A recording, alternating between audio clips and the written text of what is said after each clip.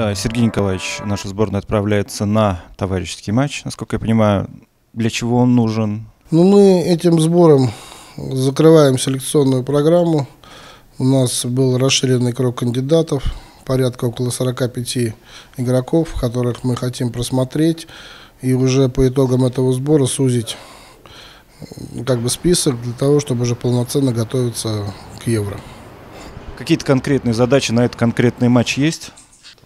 Задача посмотреть новых игроков, которые кто-то давно не привлекался в сборную, кто-то впервые привлекается в сборную. Поэтому просто посмотреть, насколько мотивированы игроки, насколько они способны решать задачи на Евро. Поэтому в основном ознакомительный сбор. И, соответственно, в рамках игры мы посмотрим их непосредственно еще в игре.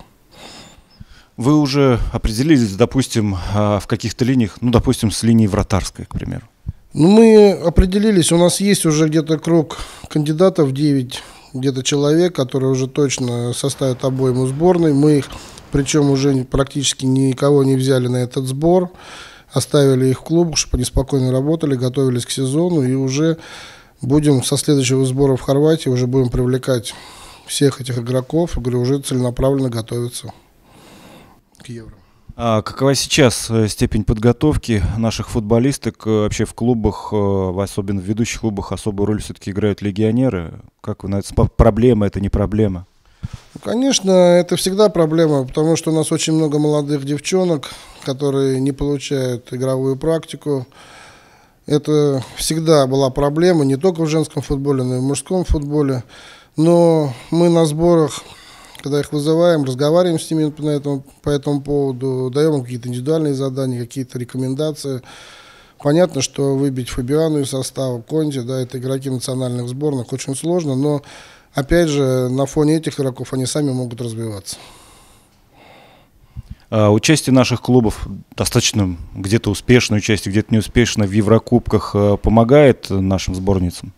Конечно, это определенный международный опыт. Вот сейчас у нас россиянка непосредственно готовится к матчу с клубом из Германии в Лиге чемпионов. К сожалению, Зорки у нас выбыл из Лиги чемпионов. Но, еще раз говорю, эти матчи только дают международный опыт, дают определенную практику. И, в принципе, нам это даже хорошо, потому что игроки еще получают хороший опыт.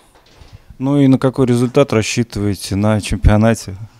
Знаете, никогда не загадывал и не хочу как бы сейчас говорить. Будем о задачах и о том результате, который э, будет на Евро, мы будем уже на самом деле ставить перед собой непосредственно перед чемпионатом по, на уровне нашей готовности, как мы будем готовы к нему и психологически, и физически, и тактически в разных компонентах. Поэтому непосредственно уже перед Евро будем ставить задачи перед командой.